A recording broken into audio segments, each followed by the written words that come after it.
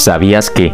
El momento más icónico de la televisión fue cuando cambió de blanco y negro a color. Como tal, la primera transmisión de prueba en color fue en 1963, en México, a través del Canal 5 fundado por Guillermo González Camarera, inventor del sistema tricomátrico secuencial de campos, el primer sistema de transmisión a color para la televisión. Pero las transmisiones en color a tiempo completo comenzaron en 1971 en varias partes del mundo. Esta tecnología permitió una mejora significativa de calidad de imagen y ofreció una experiencia de visualización mucho más completa y atractiva.